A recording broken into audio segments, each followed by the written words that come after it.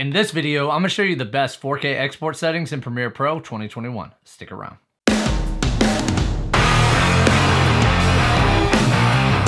Tyler here from Video Editing with Tyler White, and if you want to learn how to edit video like a pro, start now by subscribing and hitting the bell so you don't miss anything. For the sake of this tutorial, I'm to say that I'm completely done editing my project and I'm now ready to export. So the first thing I'm to do is grab the playhead and take it to the very beginning of my footage and press I on the keyboard to set an end point.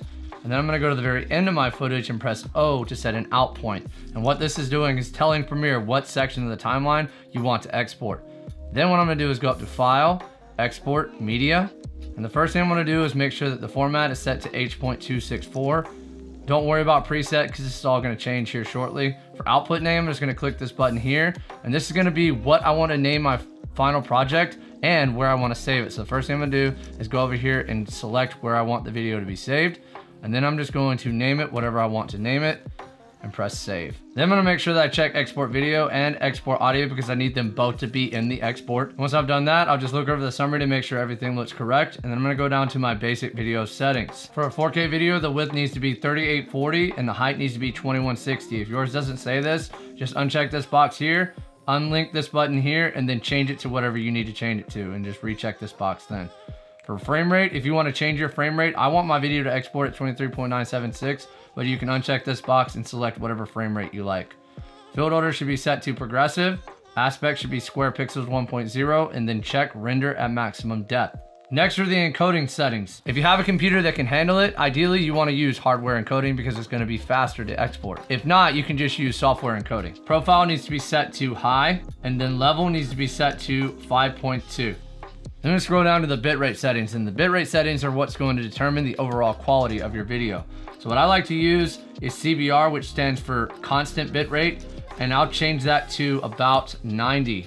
And as you may have noticed, the estimated file size has increased significantly. So you can kind of play around with this number. It doesn't have to be 90. You can drop it a little bit lower, but for me, I prefer to use 90 at CBR. Now, if I'm not uploading this video to YouTube and I'm just gonna give it to a client like on a disk or something like that, what I'll do is I'll change this to VBR one pass. VBR stands for variable bit rate, and I'm just gonna change the target bit rate down to 50 and notice that that dropped the estimated file size down significantly. But typically if I'm going to upload anything to the internet at all, I'm just gonna change it to CBR and change that to about 90 to counter any compression that's going to happen whenever you upload that video. Then you wanna just make sure that you check use maximum render quality and that's it for the video. Now I'm gonna go over to the audio tab, make sure the audio format is set to AAC. Audio codec should be set to AAC as well. Sample rate should be at 48,000 Hertz. Channels set to stereo. Audio quality set to high. And the bit rate set to 320. And then make sure that the precedence is set to bit rate. Once I've done that, I'm gonna go up here to where it says preset and notice it should have changed to custom. I'm just gonna go over here and click save preset. I'm gonna name this preset what I want it to be so that I don't have to go through all these same settings every single time. And then just press okay.